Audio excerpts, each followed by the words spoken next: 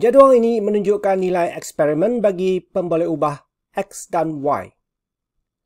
Pemboleh ubah X dan Y dihubungkan oleh persamaan Y sama dengan HX kuasa K, di mana H dan K adalah pemala. A. Cari nilai H dan K.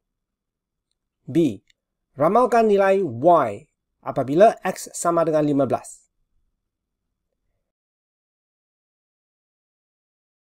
Ini adalah langkah-langkah untuk mencari pemala H dan K. 1. Tukar persamaan ke bentuk linear Y besar sama dengan M X besar campur C. 2. Plot graf. 3. Cari nilai kecerunan dan pintasan pada paksi mencancang dari graf. Dari sini kita boleh cari nilai H dan K.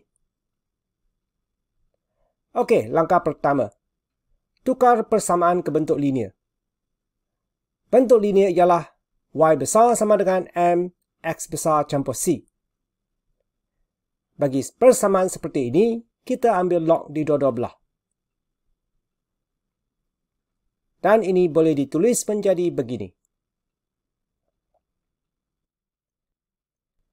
Kita pindah k ke depan.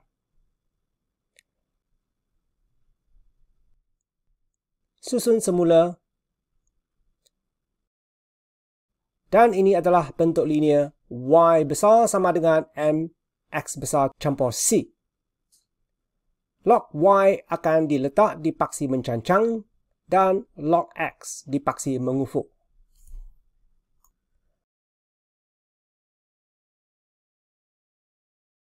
Langkah kedua, plot graph. Untuk plot graph, kita perlu tambah dua lagi baris di jadual.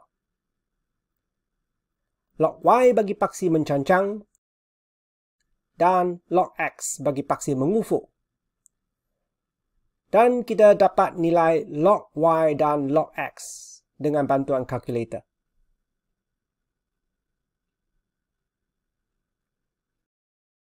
Dan kemudian kita plotkan graf.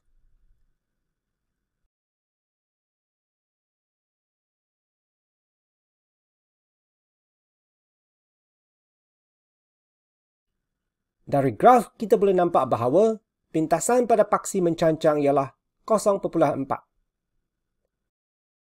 Mari kita tengok balik persamaan bentuk linear. Pintasan paksi mencancang ialah log H. Jadi log H sama dengan 0.4. Dan H ialah 10 kuasa 0.4. Iaitu 2.51. Kita juga boleh mencari kecerunan dari graf. Kecerunan ialah jarak mencancang per jarak mengufuk.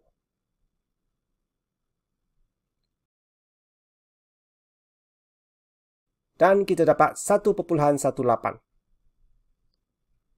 Kita tengok balik persamaan bentuk linear. Kecerunan adalah K. Jadi K ialah 1.18.